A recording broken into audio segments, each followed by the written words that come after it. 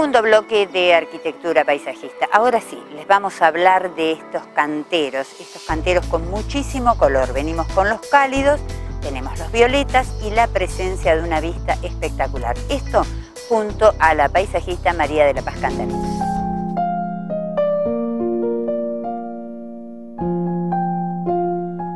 Bueno, María Paz, eh, vamos a hablar del desarrollo de este cantero. Sí, bueno, estamos en Pago Chico, o sea, es que con eso queremos decir que es un clima duro. Y acá tenemos una composición sobre todo de herbáceas. Em, tenemos hemerocalis, que son las que podemos ver en este momento en flor, que son el toque, ¿viste? Cuando aparecen en color fuerte, llamativo. Por eso son dos toques nada más.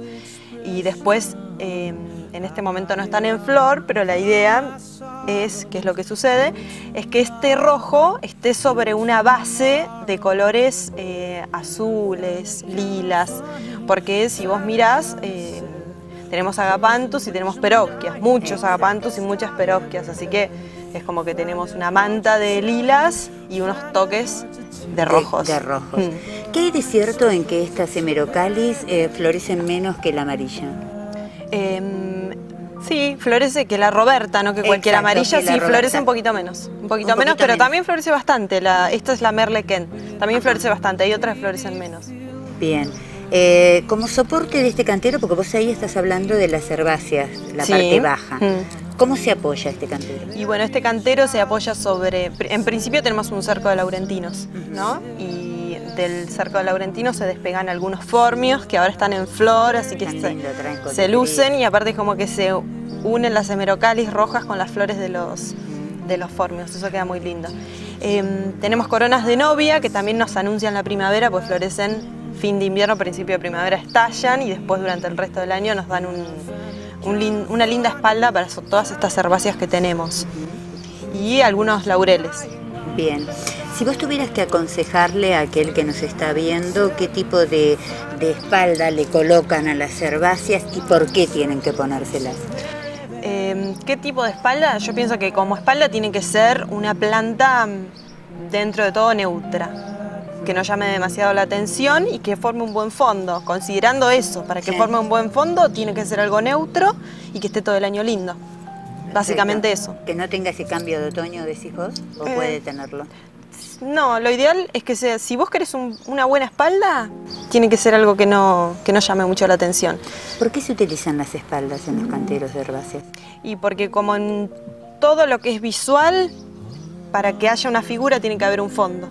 Entonces la espalda es el fondo de la figura, en este caso eh, las hemerocalis, por ejemplo. Si no, no se ven, se pierden. Necesitas un fondo.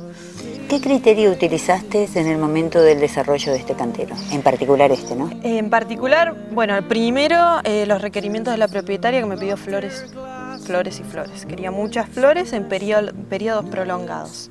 Y mm, a raíz de eso elegí especies que florezcan mucho y a su vez eh, hice la composición eh, pensando en las diferentes texturas.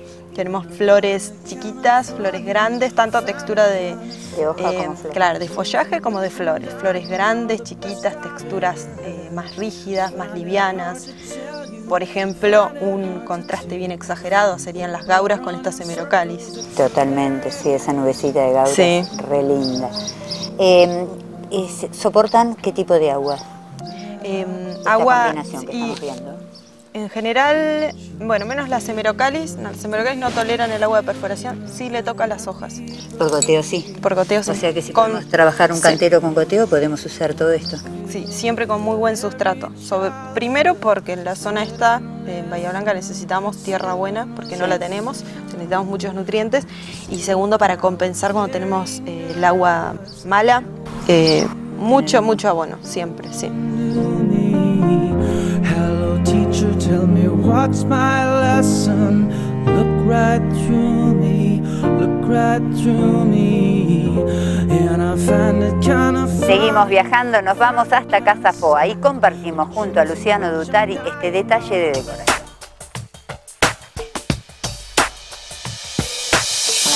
Bueno, como les habíamos prometido, eh, vamos a hablar algunos de los tips, en este caso del tema de, por ejemplo, de los colores y los textiles eh, que predominaron o que nos parecieron que eran destacables en FOA.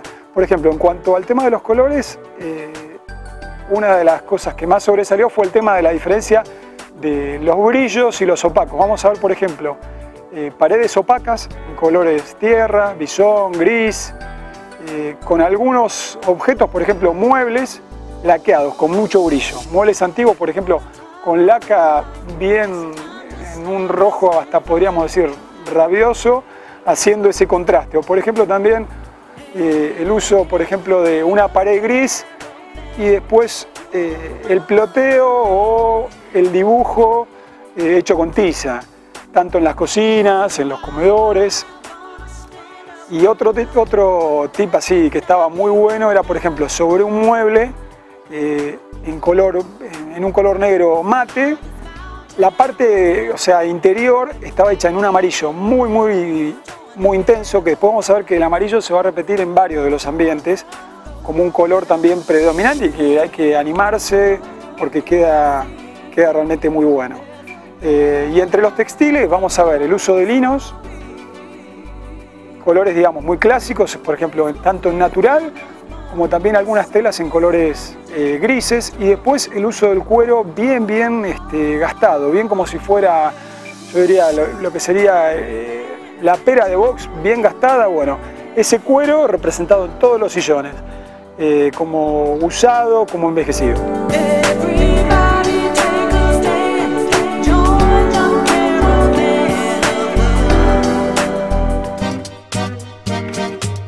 Luciano Dutari, Antigüedades y Modernidades, Sarmiento 1389. Si llegamos al final de nuestra obra y tenemos que pensar en las cortinas, nada más lindo que vestir nuestro hogar, estamos pensando en Casa Vela. Cortinas Casabela, roller, paneles orientales, romanas, asesoramiento y presupuesto sin cargo. Teléfono 154 27 13 26 un lindo momento para compartir en contacto con la naturaleza y disfrutar de un atardecer soñado, la finca Casa de Té aquí en la ciudad de Bahía. Casa de Té Bistro, la finca Oliva Olivos, aromas de la huerta, tablas, ahumados de carnes exóticas, eventos, regalos empresariales, reservas al 0291 644 3602. Semillera Wash, siempre bien, siempre Wash. Avenida LEM 5000. 488 1111. Si creíste verlo todo, venía a conocer la nueva línea de decoración inmobiliario de exterior. Vivero Paligüe, Casanova 905, teléfono 0291-451-8141. Victoria Vinilo, regalos empresariales, vinilos y mucho más. Búscanos en Face. Piletas Lafken. Hacemos veranos más lindos. Piletas, accesorios, cercos, alarmas, climatización. Piletas Lafken. Ruta 3 kilómetros 697 y medio. Teléfono 451 6151. Promotur, 40 años acompañando el desarrollo de la ciudad con loteos y urbanismo. Vieite 119, teléfonos 452 4242. Grupo Guas. Piedras, mármoles, granitos. Grupo Guas.